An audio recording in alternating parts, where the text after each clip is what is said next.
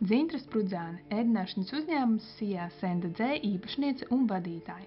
Dzintras trīs dzīves pamatvērtības ir dievs, ģimene un darbs. Kā atzīst Dzintras kolēģi, tad ikdienā viņa ir prasīga un radoša. Uzņēmums Sijā Senda Dzē darbojas jau no 98. gada, nodarbina ap 54 darbiniekiem. Sijā Senda Dzē ir lielākais ēdināšanas uzņēmums Balvu novadā, kā arī viens no lielākajiem tuvākajā apkārtnē.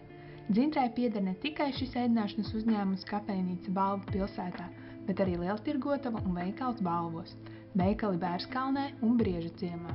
Viņas uzņēmums sniedz ēdināšanas pakalpojumus Balvu pamatskolā, Balvu profesionālā un vispār izglītojošajā vidusskolā, kā arī pašvaldības iestādē pansionātā Balvi.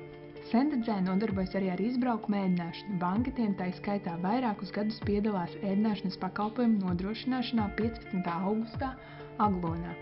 Arī pašvaldības sadarbojas ar dzintru, organizējot uzņēmēju balli, novada svētkus, uzņemot ciemiņus.